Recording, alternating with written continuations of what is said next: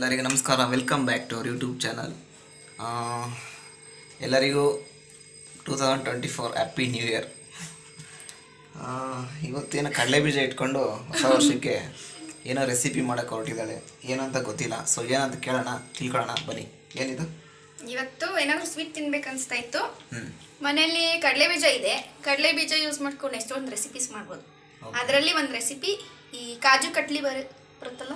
ಆ ಥರ ಕಡಲೆ ಬೀಜದ ಅಂತ. ಓ ಅಂದರೆ ಬರ್ಫಿ. ಕಡಲೆ ಬೀಜದ ಬರ್ಫಿ. ಅಂದರೆ ಬೆಲ್ಲ ಹಾಕಿ ಮಾಡೋದಾ? ಬೆಲ್ಲ ಹಾಕಲ್ಲ ಇದು ಸಕ್ಕರೆ ಹಾಕಿ ಮಾಡೋದು. ಯಾವ ಶೇಪಲ್ಲಿ ಮಾಡೋದು? ಡೈಮಂಡ್ ಶೇಪ್ ಓ ಡೈಮಂಡ್ ಶೇಪ್ ಓಕೆ ಅಂದರೆ ಸೇಮ್ ಕಾಜು ಬರ್ಫಿ ಥರ ಕಾಜು ಬರ್ಫಿ ಥರಾನೇ ಇರುತ್ತೆ ಆದರೆ ಕಡಲೆ ಬೀಜ ಯೂಸ್ ಮಾಡೋದು. ಕಡಲೆ ಬೀಜ. ಎರಡೇ ಎರಡು ಇಂಗ್ರೀಡಿಯೆಂಟ್ಸ್ ಸಕ್ಕರೆ ಕಡಲೆ ಬೀಜ. ಇವೆರಡು ಇದ್ದರೆ ಕ್ವಿಕ್ ಆಗಿ ಒಂದು ಟೆನ್ ಮಿನಿಟ್ಸಲ್ಲಿ ರೆಡಿ ಆಗೋಗುತ್ತೆ. ಸೊ ಗೊತ್ತಾಯ್ತಲ್ಲ ಇವತ್ತಿನ ರೆಸಿಪಿ ಬಂದು. ಕಡಲೆ ಬೀಜದ ಬರ್ಫಿ. ಸೊ ಆಯಿತು. ನೋಡೋಣ ಬನ್ನಿ ಹೆಂಗೆ ಮಾಡೋದು ರೆಸಿಪಿನ ನೋಡೋಣ. ಕೊನೆಯಲ್ಲಿ ಟೇಸ್ಟ್ ಮಾಡೋಣ. ಬನ್ನಿ. ಇವಾಗ ಫಸ್ಟು ಒಂದು ಕಪ್ಪು ಕಡಲೆ ಬೀಜ ತೊಗೊಂಡಿದ್ದೀನಿ. ಅದನ್ನ ಫುಲ್ಲು ಮೀಡಿಯಮ್ ಫ್ಲೇಮಲ್ಲಿ ಇಟ್ಬಿಟ್ಟು ಹುರ್ಕೋಬೇಕು. ಅದೊಂದು ಸ್ವಲ್ಪನೂ ಕಪ್ಪಾಗಬಾರ್ದು.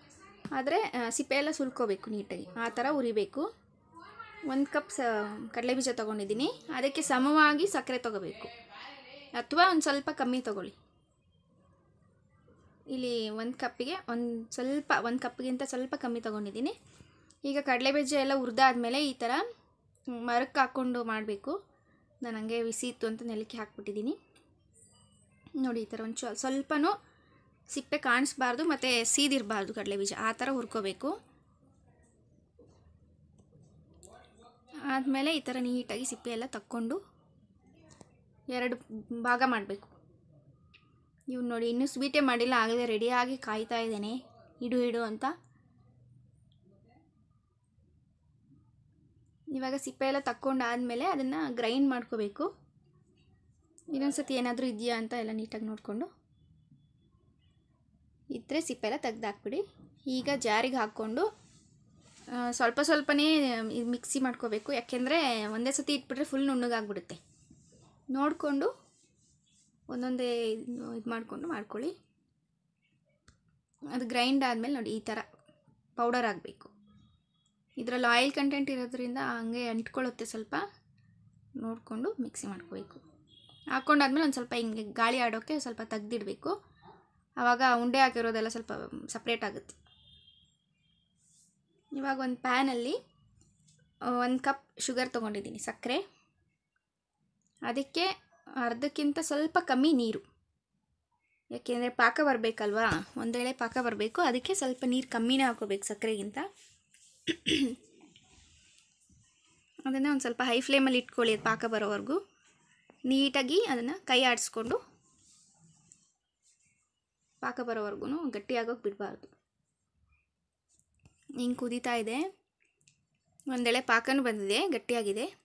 ಇವಾಗ ಪೌಡರ್ ಮಾಡ್ಕೊಂಡಿರ್ತೀವಲ್ಲ, ಆ ಕಡಲೆ ಬೀಜದ ಪೌಡರ್ನ ಸ್ವಲ್ಪ ಸ್ವಲ್ಪನೇ ಹಾಕ್ಕೊಂಡು ಇವಾಗಿಂದ ಸ್ವಲ್ಪ ನೀಟಾಗಿ ಏನು ಮಾಡಬೇಕು, ಕೈ ತಿರುಗಿಸ್ತಾನೆ ಇರಬೇಕು. ಇಲ್ಲಾಂದರೆ ಅದು ಗಂಟಾಗುತ್ತೆ ಮತ್ತು ಸಿಹಿ ತಳ ಹತ್ಬಿಡುತ್ತೆ ನೋಡಿ ಕಂಟಿನ್ಯೂಸ್ ಆಗಿ ಹಿಂಗೆ ತಿರುಗಿಸ್ತಾನೆ ಇರಬೇಕು. ಸೈಡಲ್ಲೆಲ್ಲ ಜಾಸ್ತಿ ಗಟ್ಟಿ ಆಗ್ತಾ ಹೋಗುತ್ತೆ, ಅದಕ್ಕೋಸ್ಕರ ತುಂಬ ಪೇಷನ್ಸಿಂದ ನೀಟಾಗಿ ಮಿಕ್ಸ್ ಮಾಡಬೇಕು. ಉಂಡೆ ಉಂಡೆ ಥರ ಇರುತ್ತಲ್ಲ, ಅದೆಲ್ಲ ಕರ್ಗೋಗ್ಬೇಕು ನೀಟಾಗಿ. ಸ್ವಲ್ಪ ಸ್ವಲ್ಪನೇ ಗಟ್ಟಿ ಆಗ್ತಾ ಬರುತ್ತೆ. ಇದಕ್ಕೆ ತುಪ್ಪ ಎಲ್ಲ ಏನು ಹಾಕ್ಕೊಳ್ಳೋದು ಬೇಡ. ನಿಮಗೆ ಬೇಕಾದರೆ ಹಾಕ್ಕೋಬೋದು ಯಾಕೆಂದರೆ ಕಡಲೆ ಬೀಜದಲ್ಲೇ ಆಯಿಲ್ ಕಂಟೆಂಟ್ ಇರೋದ್ರಿಂದ ತುಪ್ಪ ಹಾಕಿದ್ರೆ ಏನೋ ಸ್ವಲ್ಪ ಒಂಥರ ಆಗಿಬಿಡುತ್ತೆ ಅಂತ ಹಾಕಿಲ್ಲ ನಾವು. ಇಲ್ಲಿ ನೋಡಿ, ಸೈಡಲ್ಲೆಲ್ಲ ಆಗಲೇ ಒಂಥರ ಗಟ್ಟಿ ಆಗ್ತಾ ಇದೆ. ಕಂಟಿನ್ಯೂಸ್ ಆಗಿ ಈ ಥರ ತಿರುಗಿಸ್ತಾನೆ ಇರಬೇಕು. ನೋಡಿ, ಇವಾಗ ಸ್ವಲ್ಪ ಸ್ವಲ್ಪನೇ ಗಟ್ಟಿ ಆಯಿತು.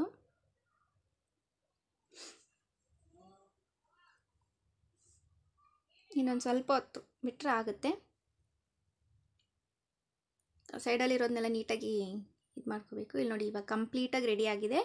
ಇನ್ನೊಂದು ಸ್ವಲ್ಪ ಮುಂಚೆನೇ ಆಫ್ ಮಾಡ್ಕೊಳ್ಳಿ, ಅದು ಗಟ್ಟಿ ಆಗುತ್ತೆ ಅನ್ನೋಕ್ಕೆ ಮುಂಚೆನೇ. ಆವಾಗ ಸ್ವಲ್ಪ ತೆಳ್ಳಗೆ ನೀಟಾಗಿ ಬರುತ್ತೆ. ಈ ಥರ ಬಾಯ್ಲ್ ಮಾಡೋ ಥರ ಶೇಪಲ್ಲಿ ಬಂದಿದೆ ಅಂದರೆ ರೆಡಿ ಆಗಿದೆ ಅಂತ. ಅದನ್ನು ನಾನಿಲ್ಲಿ ಒಂದು ಪ್ಲಾಸ್ಟಿಕ್ ಕವರ್ ಮೇಲೆ ಹಾಕ್ಕೋತಾ ಇದ್ದೀನಿ. ಬಟರ್ ಪೇಪರ್ ಮೇಲೆ ಏನಾದರೂ ಹಾಕ್ಕೊಂಡ್ರೆ ಚೆನ್ನಾಗಿರುತ್ತೆ. ಅದಿಲ್ಲ ಅಂತ ಇವಾಗ ಸದ್ಯಕ್ಕೆ ಪ್ಲಾಸ್ಟಿಕ್ ಕವರ್ ಮೇಲೆ ಹಾಕ್ಕೋತಾ ಇದ್ದೀನಿ. ಕವರ್ ಮೇಲೆ ಒಂದು ಸ್ವಲ್ಪ ತುಪ್ಪ ಸವರಿದ್ದೀನಿ. ಅದು ನೀಟಾಗಿ ಎದೊಳ್ಳಿ ಅಂತ. ತುಂಬ ಬಿಸಿ ಇರುತ್ತೆ. ಕೈಲಿ ಮುಟ್ಟೋಕ್ಕಾಗಲ್ಲ. ಈ ಥರ ಕವರ್ ಹಾಕ್ಕೊಂಡು ಹಿಂಗೆ ನೀಟಾಗಿ ಲಟ್ಟಿಸ್ಕೊಂಡ್ರೆ ತೆಳ್ಳಗೆ ಮತ್ತು ಎಲ್ಲೂ ಬ್ರೇಕ್ ಆಗದೇ ಇರೋ ಥರ ಬರುತ್ತೆ. ನೋಡಿ, ಈ ಥರ ನೀಟಾಗಿ ಲಟ್ಟಿಸ್ಕೋಬೇಕು.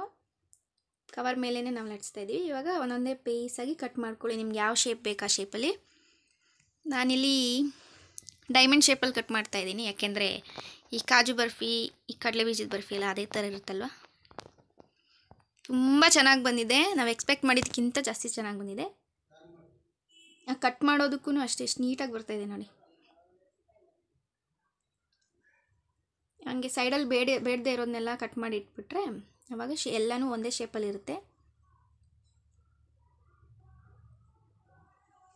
ನೋಡಿ ಈ ಥರ ಡೈಮಂಡ್ ಶೇಪಲ್ಲಿ ಕಟ್ ಮಾಡ್ಕೋಬೇಕು. ಒಳ್ಳೆ ಟೇಸ್ಟ್ ಇರುತ್ತೆ, ಸಕ್ಕರೆ ಹಾಕಿರ್ತೀವಲ್ಲ ಬೆಲ್ಲದ್ದೂ ಚೆನ್ನಾಗಿರುತ್ತೆ, ಅದು ಒಂದು ಸರಿ ಟ್ರೈ ಮಾಡ್ತೀನಿ. ಈಗ ಸದ್ಯಕ್ಕೆ ಸಕ್ಕರೆ ಪಾಕದಲ್ಲಿ ಮಾಡಿರೋದಿದು. ತುಂಬ ಚೆನ್ನಾಗಿರುತ್ತೆ ಟೇಸ್ಟ್ ನೋಡಿ, ಎಷ್ಟು ನೀಟಾಗಿ ಕಟ್ ಆಗ್ತಾಯಿದೆ ಒಳ್ಳೆ ಶೇಪ್ ಇದೆ.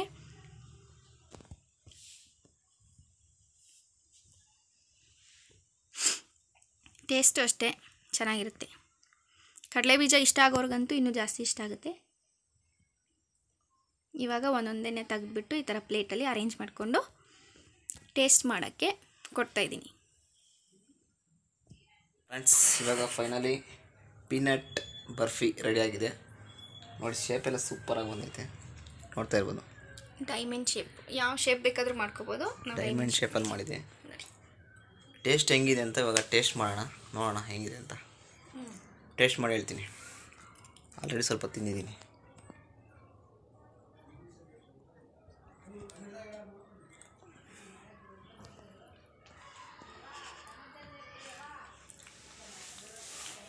ಸೂಪರ್ ಆಗೈತೆ. ಎರಡೇ ಐಟಮ್ ಯೂಸ್ ಮಾಡಿರೋದು. ಏನಿದು? ಕಡಲೆ ಬೀಜ? ಕಡಲೆ ಬೀಜ ಮತ್ತು ಸಕ್ಕರೆ ಎರಡು ಎರಡೇ ಯೂಸ್ ಮಾಡಿ ಸೇಮ್ ಬೇಕ್ರಲ್ಲಿ ಇರೋ ಥರ ಐತೆ ಒಳ್ಳೆ ಟೇಸ್ಟ್ ಇದೆ. ಸೊ ಮನೆಯಲ್ಲಿ ಎಲ್ಲರೂ ಟ್ರೈ ಮಾಡಿ ತುಂಬ ಚೆನ್ನಾಗಿದೆ. ನೀನು ತಿನ್ನು ಹೆಂಗಿದೆ ನೀನು ಮಾಡಿರೋದು ನೀನು ತಿನ್ನು. ಇದನ್ನು ನಾನು ತಿಂದಿದ್ದೆ. ಬೇಕ್ರಿಲಿ ಎಲ್ಲೋ ತಂದಿರೋದು. ಸೇಮ್ ಹಂಗೆ ಬಂದಿದೆ. ಟೇಸ್ಟ್ ಮಾತ್ರ ಸೂಪರ್ ಆಗೈತೆ. ಚಿಕ್ಕ ಮಕ್ಕಳು ಸಿಕ್ಕಿದ್ರೆ ಎಲ್ಲ ಒಂದೇ ಸರಿ ಓಡಿಸ್ ಮಾಡಾಕ್ತಾರೆ. ಕಡಲೆ ಬೀಜ ಇಷ್ಟಪಡೋರಿಗೆ ಇನ್ನೂ ಜಾಸ್ತಿ ಇಷ್ಟ ಆಗುತ್ತೆ. ನಾನು ಕಡಲೆ ಬೀಜ ತಿನ್ನಲ್ಲ ಆದರೂ ನನಗೆ ತುಂಬ ಇಷ್ಟ ಆಯಿತು. ನಾನು ಗ್ಯಾರಂಟಿ ಒಂದು ಏಳೆಂಟು ಪೀಸ್ ಒಂದೇ ಸರಿ ತಿನ್ನಾಕ್ತೀನಿ. ಆಲ್ರೆಡಿ ಒಂದು ನಾಲ್ಕೈದು ಪೀಸ್ ಖಾಲಿ ಆಯಿತು. ಖಾಲಿ ಇನ್ನೂ ಆಗಿದೆ. ಜಾಸ್ತಿನೇ ಆಯಿತು. ಇನ್ನೂ ಒಂದು ನಾಲ್ಕೈದು ಪೀಸ್ ತಿಂತೀನಿ. ಸೊ ನೋಡಿದ್ರಾ ಉಪ್ಪಾಗಿದೆ. ಯಾವಾಗ ಏನಾದ್ರು ಯಾವಾಗಾದ್ರೂ ಮಾಡಬೇಕಂದ್ರೆ ಈಸಿಯಾಗಿ ಒಂದು ಟೆನ್ ಮಿನಿಟ್ಸ್ ಒಳಗಡೆ ಆಗುತ್ತೆ. ಅಂದರೆ ಸ್ವಲ್ಪ ಪೇಷನ್ಸಿಂದ ಮಾಡಬೇಕು. ಹ್ಞೂ ಪೀನಟ್ ಮತ್ತು ಸಾರಿ ಕಡಲೆ ಬೀಜ ಮತ್ತು ಸಕ್ಕರೆ. ಇವೆರಡು ಯೂಸ್ ಮಾಡ್ಕೊಂಡು ಈಸಿಯಾಗಿ ಮಾಡಬೇಕು ಅಷ್ಟೇ. ಚೆನ್ನಾಗಿ ಬಂದಿದೆ. ಮನೇಲಿ ಟ್ರೈ ಮಾಡಿ ಇದೇ ಥರ ನಮ್ಮ ವೀಡಿಯೋನ ಲೈಕ್ ಮಾಡಿ ಸಪೋರ್ಟ್ ಮಾಡಿ ಸಬ್ಸ್ಕ್ರೈಬ್ ಮಾಡಿ. Thank you